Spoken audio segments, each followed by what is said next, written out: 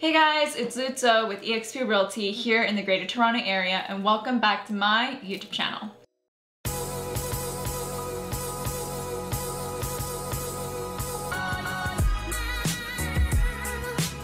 So today we're going to be going over the extremely important topic of how to protect ourselves as female real estate agents. I truly believe that this is something we need to normalize um, and talk about a little bit more often than, um, than it is. I'm seeing, you know, some incredible ladies speak up um, and give their own tips, which is really incredible to see. Um, so that's why I wanted to make this video um, just based off of personal experiences and uh, real tips that I still use till this day and um, hopefully it can help um, some of you out there. And uh, you know the main important thing is that um, that we can work safely right? And we can work to our full potential um, and not be in harm in, in, in any way.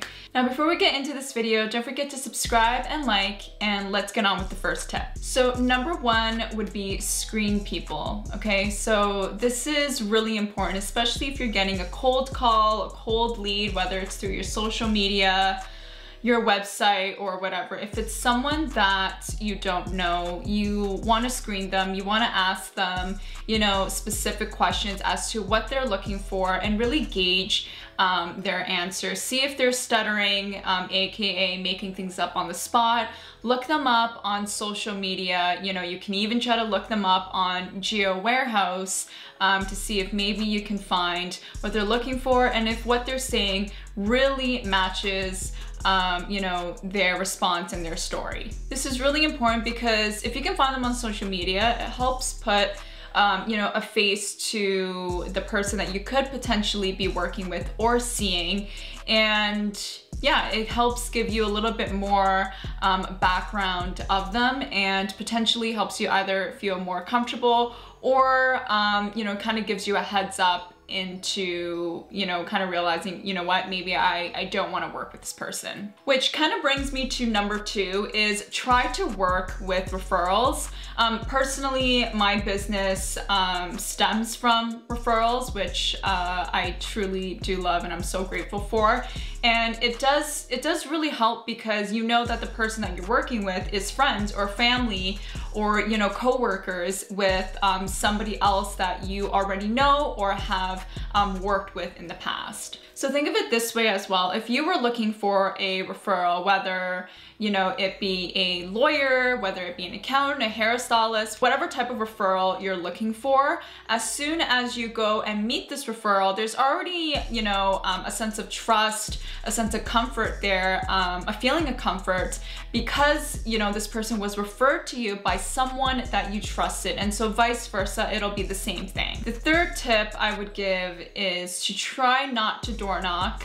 Um, so I understand, you know, especially for female agents that are maybe just starting off, that don't have that big of a database, you know, don't have um, a huge sphere of influence or whatever it may be, it can be tough to um, to grow, right? So oftentimes, and many offices and and and brokerages do push uh, door knocking. And this is where you go around the neighborhood and you door knock on doors for, you know, a listing that was just put up for sale or a listing that just sold, um, etc. So when I first started, I did I door knocked for three months on and off, okay? And the only reason I really stopped was because of, you know, specific experiences that I would have.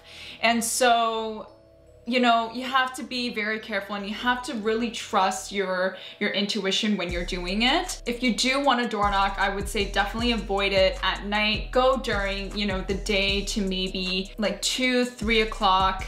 Uh, do it where maybe there's high, you know, there's high traffic around, um, maybe like in Toronto where you see a lot of people walking around. Um, you can also if you are planning to do it, I would also, you know, text someone that's close to you, whether it's a friend, family member, your significant other, your, um, you know, your your parents, and let them know that you're going to be doing this. Um, as well as, you know, if you do get into a situation where, you know, someone may be inviting you inside to take a look and you don't feel uh, you know, 100% comfortable, then, you know, say that you can set up a different time. You can take down their information, which you can give them a call later and screen them. But you can say that, you know what, I've got a meeting to run to, I've got an appointment to go to. Let me take down your contact information and we can and we can chat from there. Okay. This is if you're, you know, of course, if you're feeling uncomfortable um, and you do want to get up and you do want to, you know, leave the situation or think about it a little bit more and have time to properly screen them. Now, again, I do know many successful female agents that thrive on door knocking. So I'm not saying do or do any of these tips or follow them. I'm just saying that in my experience, these are the tips that I now uh, practice and I use every single day. And I truly do believe that it will help um, some of the other female agents out there. Okay, so this kind of ties into number four, which is let somebody know where you are. So for example, again, if you're, you know, planning to do a showing for the first time to someone that you haven't met um, and you're nervous because you haven't met them, um, it's always best to have someone on standby. Obviously give them, you know, some notice that, hey, between five and six, I'm gonna be showing this person, um, you know, a condo here. Like if I don't check in with you or don't text you by, you know, 5.15, 5.30, just give me a call. This is also important for things like open houses, um, if you're showing a condo, sometimes what I do is I give a heads up to the concierge um, and just let them know that this is what I'm gonna be doing. I'm meeting somebody new.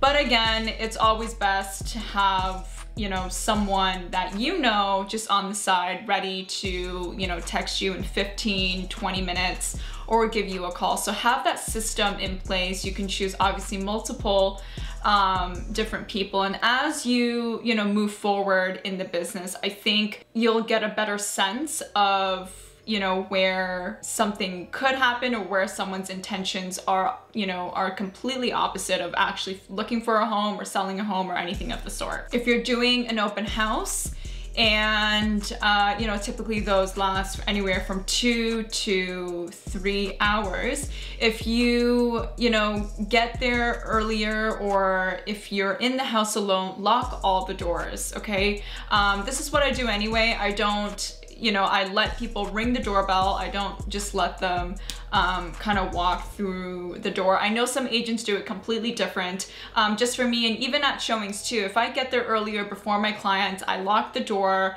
You know, obviously I check out the house.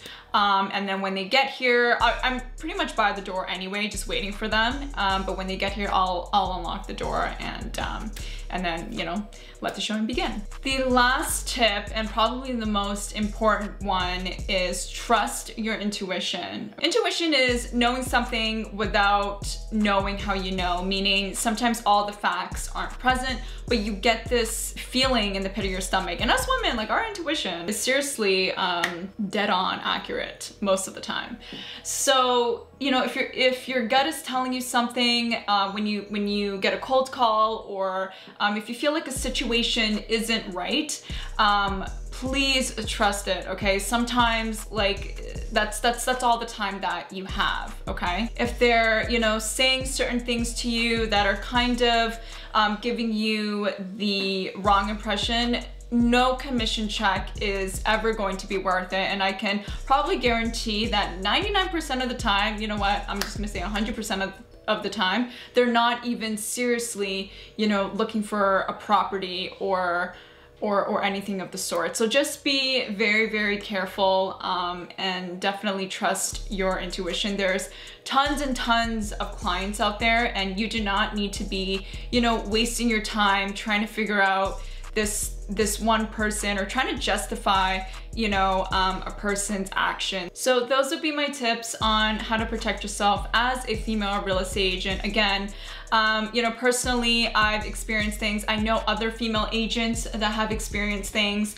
And most of these, you know, happened to me when I was a newer agent. And so I really hope that this video can help um, whether you're a new female agent or, or not, um, you know, I hope this video can help um, real estate agents out there that uh, have experienced something that made them feel uncomfortable or um, can prevent that from happening in the future. So again, these are tips that I practice uh, till this day right now.